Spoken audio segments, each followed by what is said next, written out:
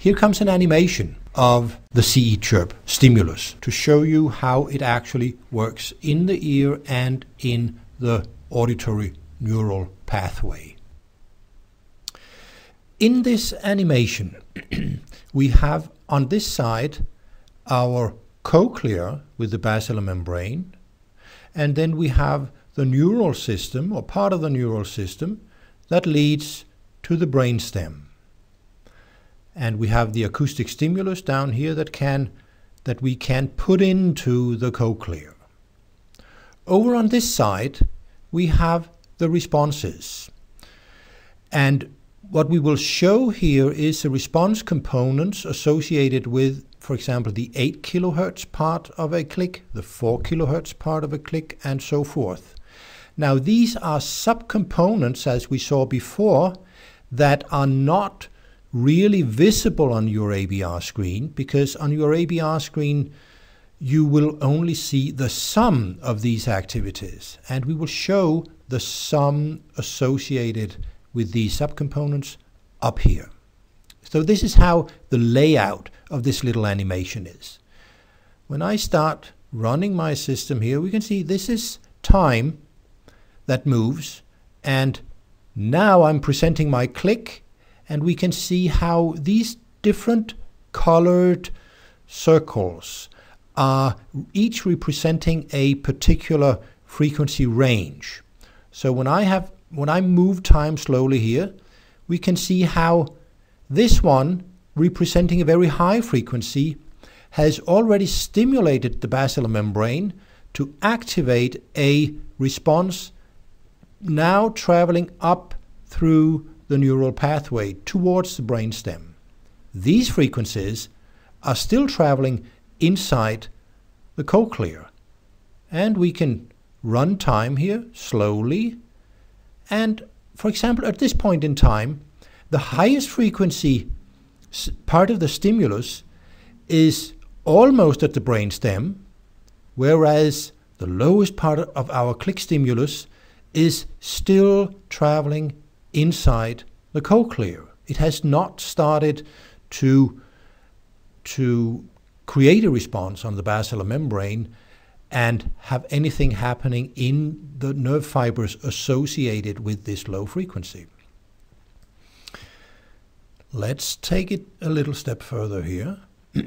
so, if we stop time here, we can see that the highest frequency has now arrived at the uh, at the brainstem, sorry, and we can see over here on the response part, part of things how the 8K response associated with the 8K stimulus has, has actually created a little peak in response. Whereas, for example, the lowest part has not done anything as far as contributing to the overall response yet. But I can continue my playing with time here.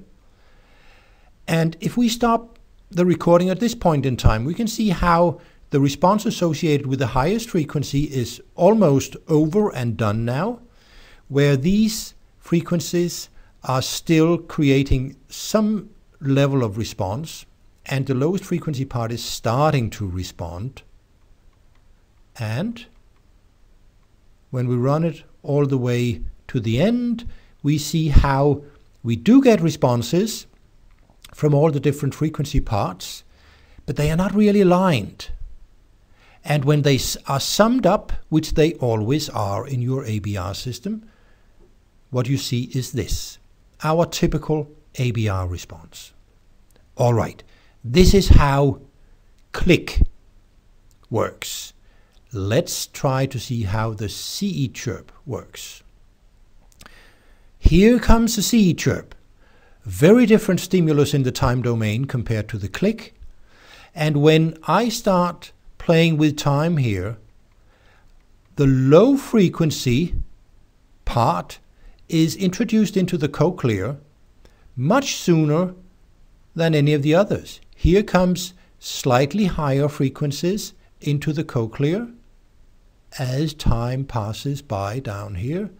And of course, the trick is to have the chirp in such a way that all these different frequency components arrive at their specific point on the basilar membrane at the same time and excites the basilar membrane at the exact same time, travels up through the neural pathway synchronized and arrives at the brainstem synchronized.